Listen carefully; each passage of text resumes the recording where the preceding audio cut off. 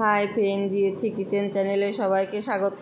প্রতিদিনের মতো আজকেও নতুন একটা রেসিপি নিয়ে আপনাদের সামনে চলে আসলাম। তো আজকে আমি রান্না করব ছোট মাছের ঝাল। তো এখানে দুই রকমের মাছ আছে, ট্যাংরা মাছ, পুঁটি মাছ, মাছগুলো কেটে নেব। তো মাছগুলো কেটে ধুয়ে নিয়েছি।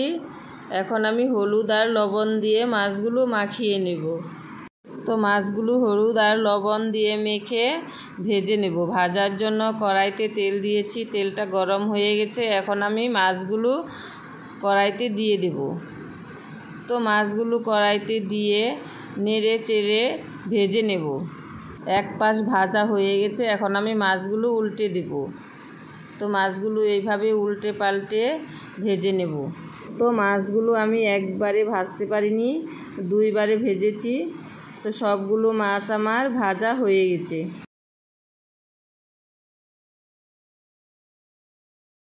তো মাছের জন্য এখানে আমি সবজি কেটে নিয়েছি। এখানে সব ধরনের সবজি আছে।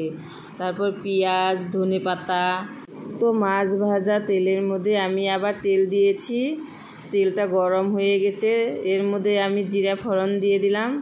জিরা ফোড়নটা লাল লাল হয়ে গেলে এর মধ্যে আমি পেঁয়াজ দিয়ে দিলাম।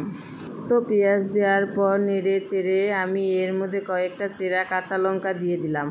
কাঁচা লঙ্কা দিয়ে ভালো করে পেঁয়াজটাকে ভেজে নেব।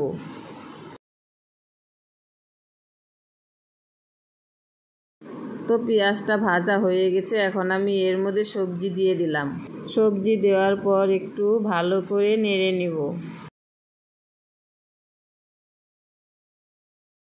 লবণ আর হলুদ দিয়ে দিলাম। তো লবণ আর হলুদ দেওয়ার পর আমি সবজিটাকে ভালো করে কষাতে থাকব। এইভাবে নেড়ে চেড়ে ভালো করে কষিয়ে নেব। তো কষাতে কষাতে সবজিটা মজে গেছে। এর মধ্যে আমি জিরে বাটা দিয়ে দিলাম। তো জিরা বাটা দেওয়ার পর আবার আমি ভালো করে নেড়ে চেড়ে কষাতে থাকব। দেখো বন্ধুরা, কত জল বেরিয়েছে সবজি থেকে। আবার আমি জল দিয়ে দিলাম। জল আমি খুব একটা বেশি দিব না, কারণ সবজি থেকেই কত জল বেরিয়েছে তার মধ্যে এটা একটু শুকনো শুকনো হবে।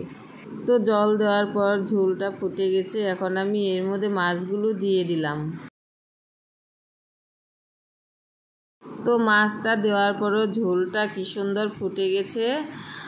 তো এটা একটু ভালো করে নেড়ে চেড়ে উপর থেকে আমি ধনে পাতা দিয়ে দেব। তো হয়ে গেছে আমার ছোট মাছের ঝাল। তো কেমন হয়েছে বন্ধুরা বলবেন। তো এখন আমি এটাকে নামিয়ে নেব। তো দেখো বন্ধুরা, দেখতে কত সুন্দর হয়েছে।